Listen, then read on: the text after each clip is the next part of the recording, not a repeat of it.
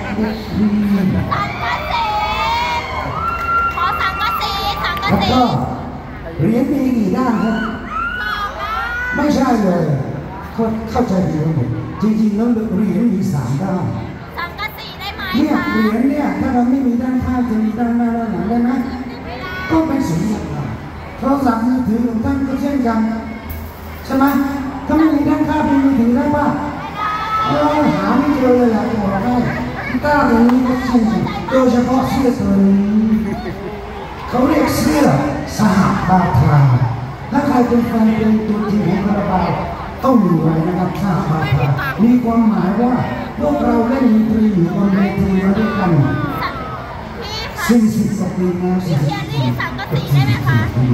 นะเดี๋ยวนี้เป็นแบบให้เรียนหาซื้อเป็นหนึ่งอะนี่ด้านางอันนี้เท่าไหร่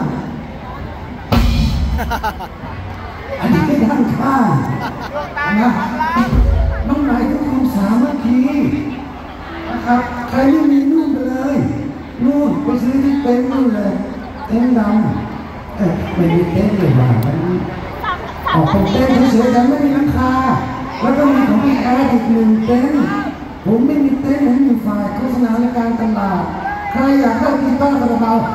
ใครอยู่ฝั่งนู้นซื้อฝั่งนู้นใครอยู่ฝั่งนี้ซื้อฝั่งนี้นะครับจะได้ไม่ต้องเดินไกลนะครับ แล้วผมจะถามว่าคนที่เล่นดนตรีเป็นจะรู้นางงามตู้กระจกนี่คืออะไรเอ่ยสังกะสีอะพีซีใช่แต่ไม่ใช่ซีธรรมดาพีซีเจรู้จักซีเจไหม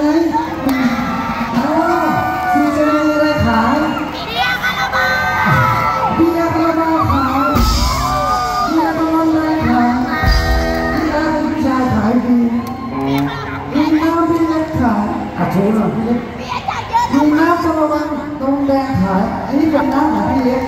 พี่เล็กจึงเป็นผู้ชายขายน้ำอิจฉามากเลย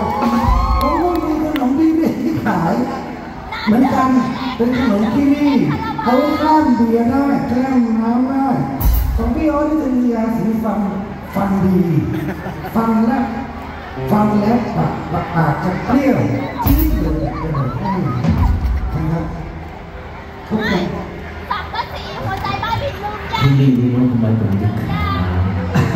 ทำไมล่ะพี่ำเพราะผมเป็นคนน้ำเย็นนั่นเองไม่น่าทำไมอะน้ำเยอะก็ต้องขายน้ำเลยนี่ไอ้ต้มเบียร์นี่ก็ขายดีนะเก็บแค่เป็นคนดูเลยนะเออเดี๋ยวเพลงเนี้ยนะครับโจทย์เนี่ยสำหรับใครที่ว่ายน้ำไม่เป็นก็ไปฝึกว่ายน้ำได้นะครับ จะได้ไม่จมน้ำ รายง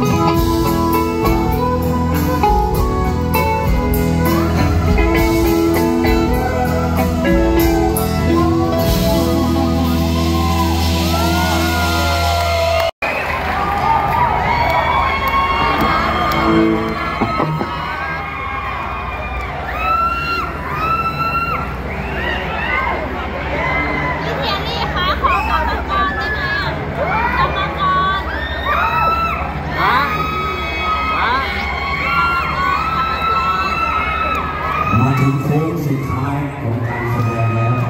เราจะไม่เล่นเพลงช้าแล้วนะครับแต่เป็นเพลงเร็วเต้นอย่างเดียวครับ